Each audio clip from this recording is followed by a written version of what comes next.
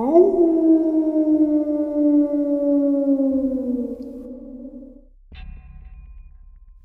Greetings and salutations, everyone. I hope everyone is doing well today. Today, I have a kind of surprise upload for you guys. Before we get into this upload, though, a couple links I'd like to share. As you know, I rely on Patreon, PayPal, and my merch store to help the channel to continue to grow and go. The links to Patreon and PayPal are in the description below.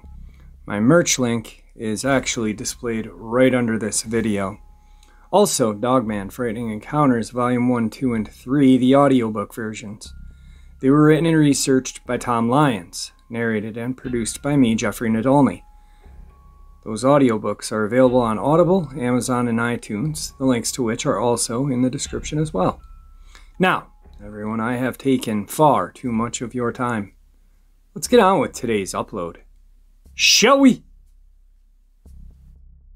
So, the reason why I said today's upload is kind of special is because I am going to pick a story or an encounter out of each audiobook. There are three.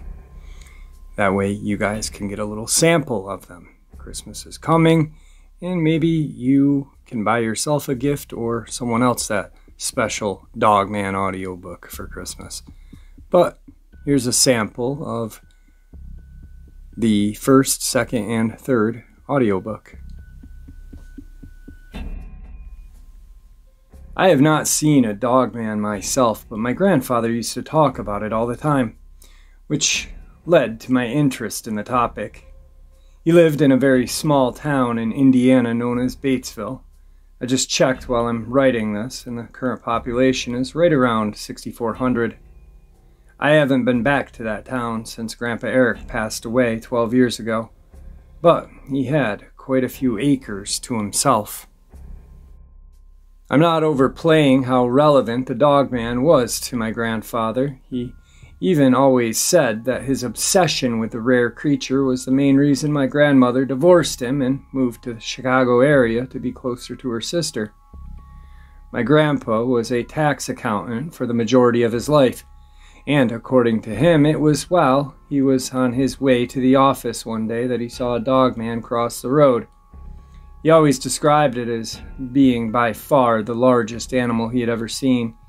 He referred to it as the wolf man until he read some books that mentioned dogman are legitimate species that merely has yet to be publicized by the mainstream science. According to my grandfather, the dogman jumped in front of his car causing him to slam on his brakes. And it ran alongside the road before jumping back onto the street, causing the only other car on the road to swerve into the grass. Understandably, neither he nor the other driver was brave enough to step out of their vehicles, and the other person drove off before my grandfather could confirm what they had just witnessed. When I was a child, that story always thrilled me. As I grew older, I started to wonder how much truth there was to his stories. I wondered how much they could have been embellished. But over the last five years, I have read all sorts of books and I've watched many videos on YouTube, and it is no secret that people all over the world experience events that are just as alarming, if not more. Doing that helped me to realize that my grandfather's encounters were just a few of millions. I remember him going as far as to say that he was grateful to the dog man for exposing itself to him because his life had become so mundane before that. Even though that first sighting shook him to his core, he stated that it added mystery and intrigue to his existence. At the risk of sounding comical, I suppose you could say he became somewhat of a dogman detective. I don't know how long it was after he had his initial sighting, but he returned to the scene at the time when the traffic would be minimal. He always said he got the impression that the creature was trying to intimidate him and the other driver and to steer them out of the area. He thought that maybe it was guarding something. His hunch might have been correct, as he discovered a large skeleton that only could have belonged to a cow. It was about 80% consumed and was cleverly hidden within a ditch that was between a barbed wire fence and some brush. As he glanced around the area, he spotted the cows way off in the distance on the other side of the fence. That disturbed my grandfather because it likely meant that the dog man tossed the body of an adult sized cow over the fence. Keep in mind that the average weight of a fully grown cow is 1,500 pounds.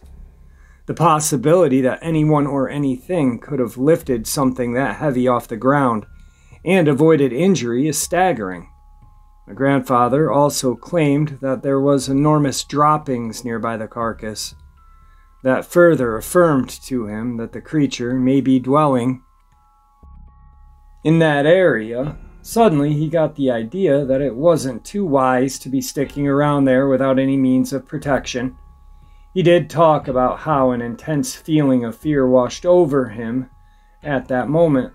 I think these cryptids are extremely interesting but I would have hightailed it out of there long before he got that bad feeling.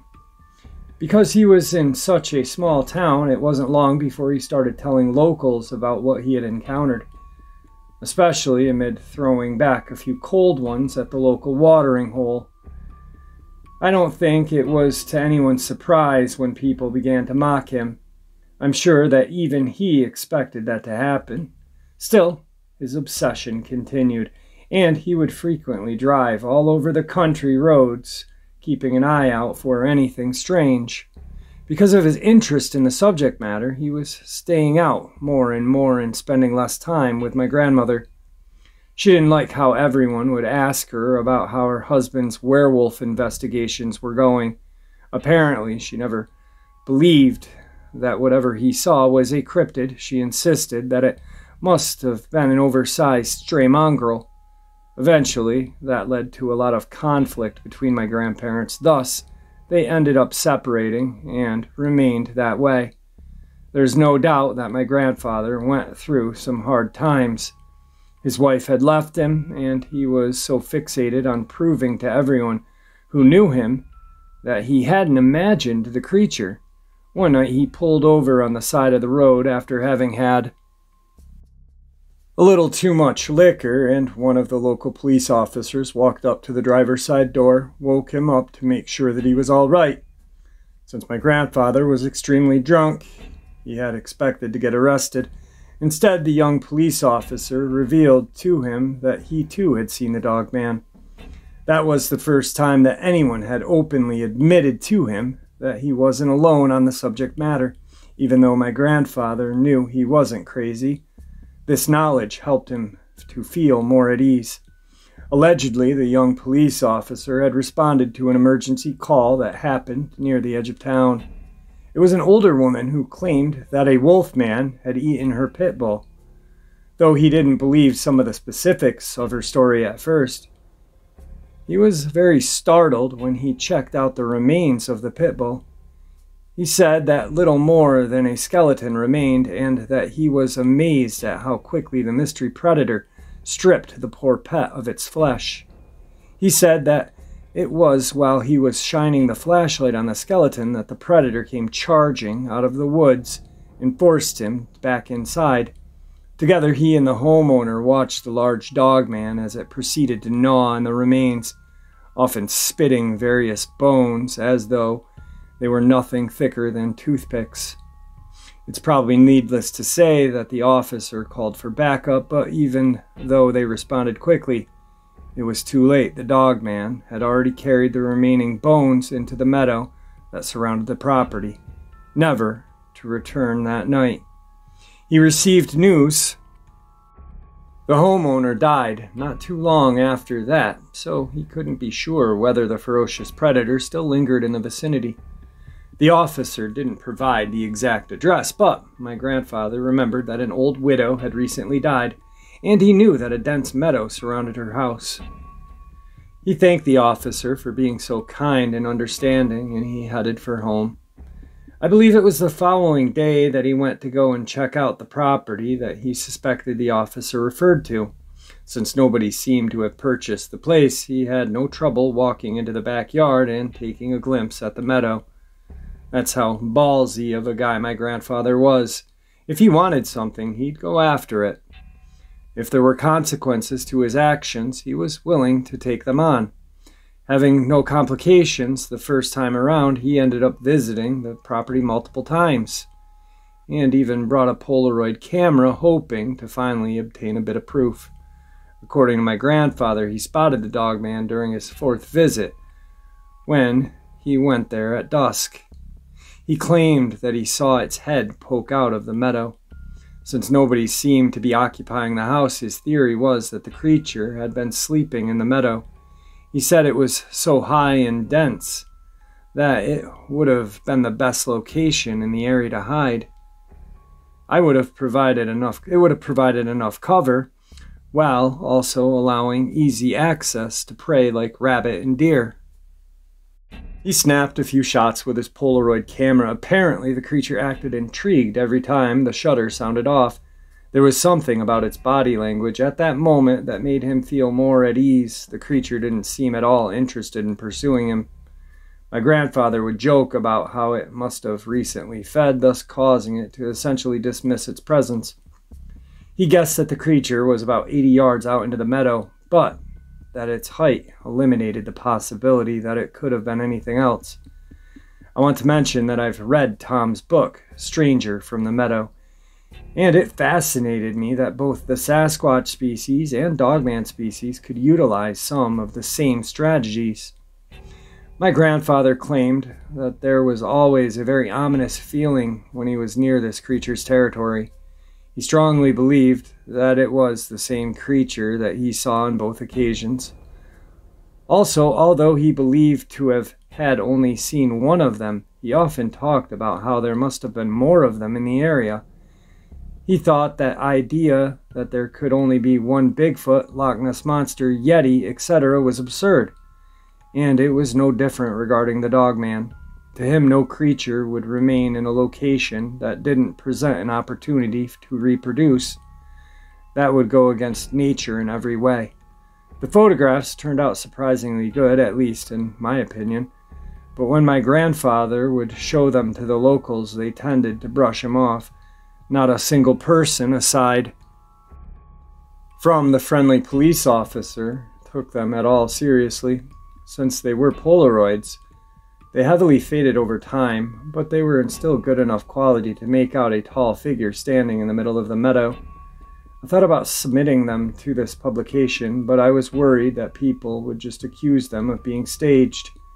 It's interesting how so many people will so willingly to hear about encounters of this nature, but once you claim to have photographic evidence, the naysayers come after you. There is one more encounter story that my grandfather told me about, but I thought I might better save it for another issue of Dogman Frightening Encounters. Maybe Tom will be able to persuade me to share the photographs. If you have had encounters with the Sasquatch or Dogman species, I recommend that you shoot Tom a message, or me.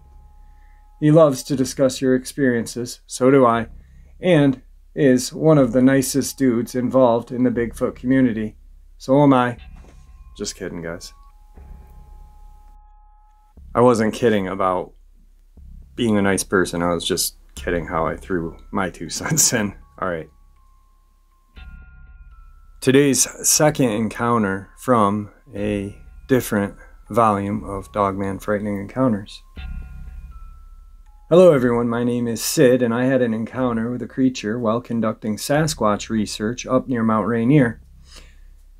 I was never intimidated by the idea of crossing paths with a Sasquatch, but I am confident that many others will agree that a run in into a dog man is an entirely different story. I've been interested in Sasquatch ever since I was a child and saw the famous Patterson Gimlin film. When I saw that, it was as if it brought life to a brand new person, sparking a passion that I had never felt before. I lived just outside of Seattle at the time, and on weekends would beg my mother and father to take me out into the national parks so that I could search for footprints. I should mention that I've seen Sasquatch more than once, but it's always been from a great distance. I've never been close enough to one of them to make out facial features or the smell their breath, like with Tom. That's why I think it's more interesting that I encountered this other, even rarer creature up close. It was around the beginning of the summer of 2005 when I decided to head out on a solo expedition. I usually went with a friend or two, but both of the guys who were interested in the subject were busy on this particular occasion. I didn't always do things this way, but I remember it had been a while since I went camping, so I decided to go all out and go on a backpacking excursion that took you on something like a 10 mile journey. I always like to take my time with those kinds of journeys because I'm a firm believer that this is a subject you have to be more patient with than more other things. Some people might think that I'm loony for saying this, but I don't think you can expect to do good Sasquatch investigation while you have a frantic energy. I do think that this species can sense that sort of thing. Now, that's just my opinion. I've been doing this stuff for years, and it's constantly been the case where I found tracks and other signs of their presence when I'm feeling centered. Of course, it could just be because my awareness is improved when I'm centered, therefore, I notice more of my surroundings than otherwise. It was the second night of my hike, and the skies were beautiful. But I decided to take my chances with unforeseen bad weather and remove the rain guard from the top of the tent. I've been asleep for some time, although I'm not sure how long. I was awoken by the sound of these unordinary breaths that seemed to be coming from somewhere very close to my tent. These breaths were so raspy that I got the impression whatever was responsible for them was very sick possibly even on the verge of death, because it didn't sound like any animal I had ever heard before. I, of course, speculated whether it was a Sasquatch that was snooping around my camp. The area I was in is known for frequent activity, so I got pretty excited, a bit nervous, but excited nonetheless. I continued to lie there on my back as still as possible, listening to everything that was going on outside the wall of my fabric shelter. I could hear it sniffing the little area where I had built a fire to cook my freeze dried food. I was quite intrigued until I watched the silhouette of a gigantic hand run its fingers across the outer wall of my tent. The moonlight was just enough to provide me with a visual of the shape of its hand.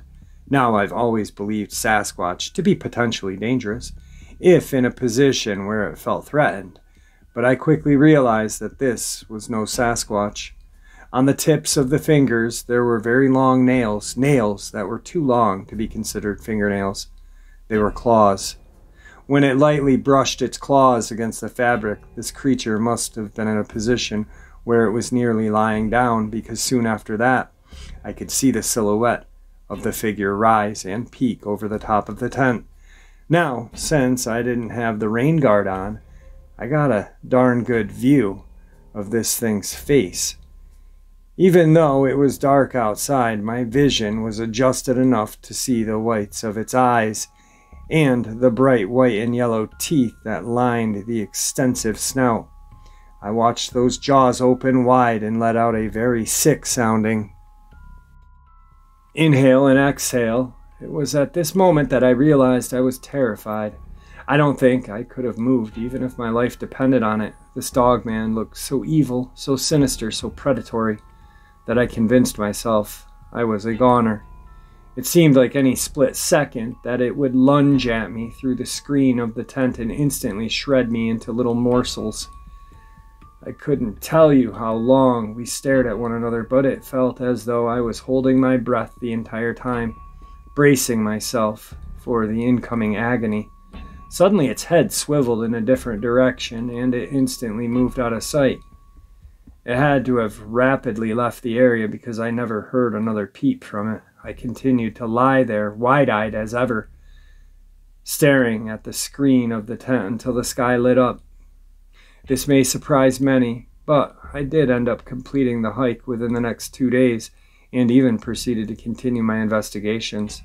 The only difference was that I started keeping an eye out for something other than Sasquatch.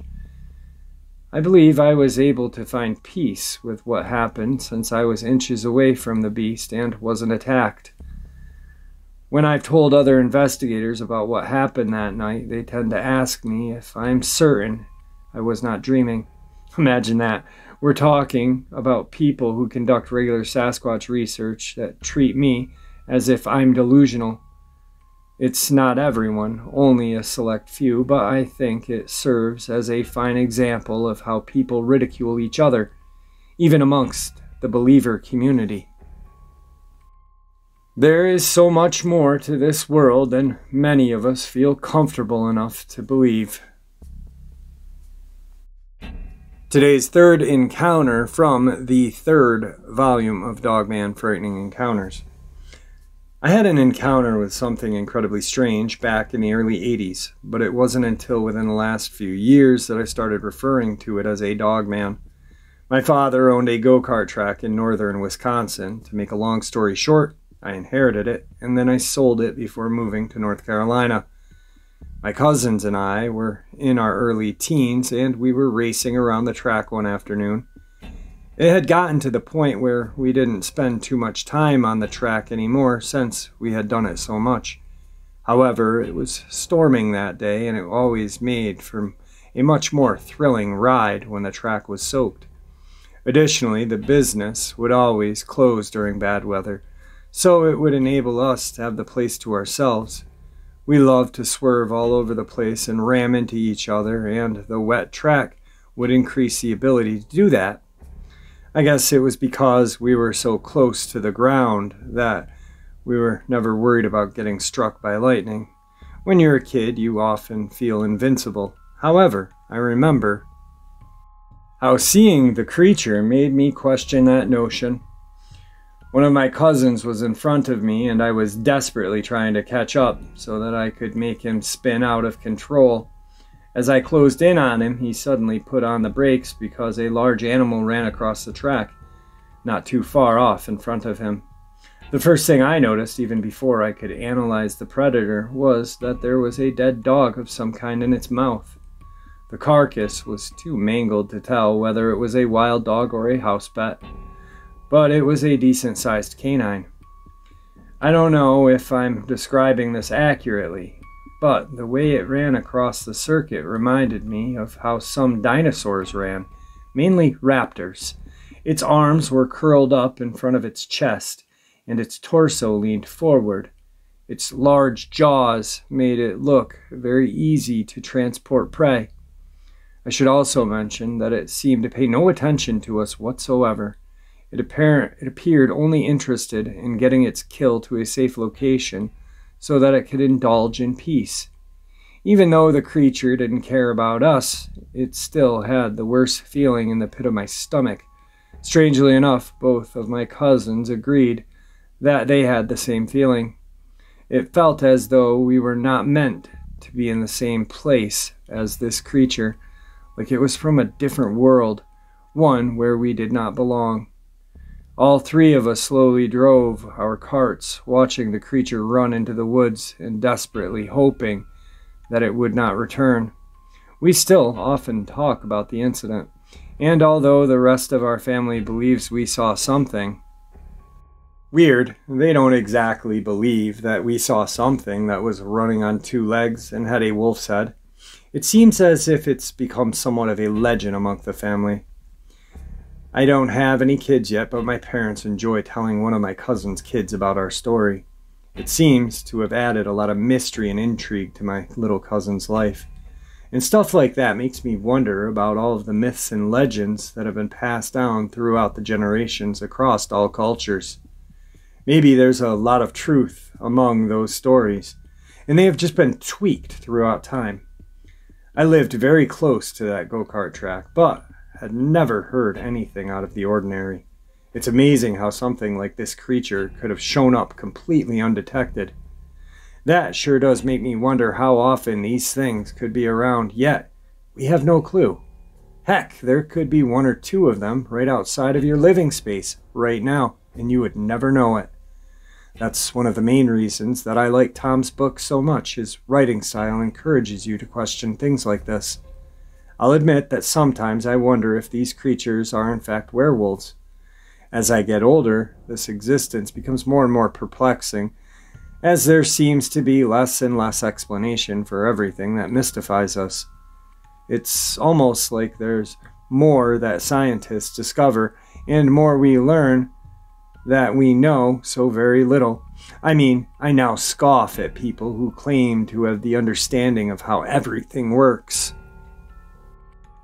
Who is to say that a man cannot transform into a monster since metamorphosis is real, documented thing? Why is this looked at as an impossibility with mainstream news so hell bent on scaring us daily?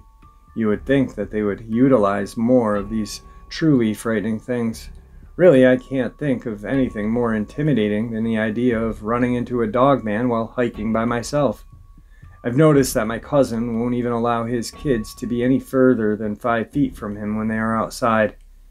It's a disturbing thing to say, but a child would be such an easy snack for what we saw that day on that track. As time moves on, it's interesting how you start to accept something so uncanny. I think it goes to show that the human brain can eventually process and accept anything. Don't think for a second that these creatures are not running around out there. They are. And they could be closer than you think. Alright, guys. So, like that guy said in his story um, he had read Strangers from the Meadow, another Tom Lyons book. Now, Tom has some amazing cryptid books. Um, he really does his research when he writes these books. They are very good. I, I probably own about four or five, maybe six um, of his books. Definitely more than six, I'm sorry and on my Amazon Paperwhite, and um, the, all his books are available on Amazon as well as his audiobooks uh, on Audible. Uh, what he has on there. Um, but yeah, Dogman Frightening Encounters, Volume 1, 2, and 3. They were researched and written by Tom Lyons. And they were narrated and produced by me, Jeffrey Nadolny. And they are uh, available on Audible, Amazon, and iTunes. And guys, the links are in the description below. Not too bad. Um, I think they're priced pretty fairly. So if that's something you're interested in doing, it makes a good Christmas present. Now, enough of the sales pitch. I hope you guys have a wonderful rest of your day. And please be kind to each other. And may the Great Spirit watch over all of us and guide us through our path in life. Farewell, my friends, until tomorrow.